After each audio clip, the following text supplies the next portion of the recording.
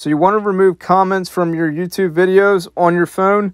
Go to your App Store, type in YouTube Studio.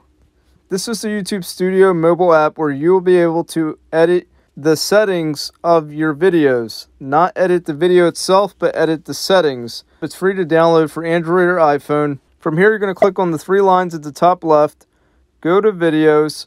Now, when you upload a video to YouTube, by default, it goes public. So you want to make sure you upload in either private or unlisted if you want to turn off comments, because once it goes public, the comments will turn on. So you want to change the settings by clicking on the pencil icon of a video. Then you will go to the right side of the settings. Now you see where it says allow comments. You're going to swipe that off. You can also turn off the likes and dislikes where it says users can view ratings for this video. You want to swipe that off. After that, you have to click on the save button.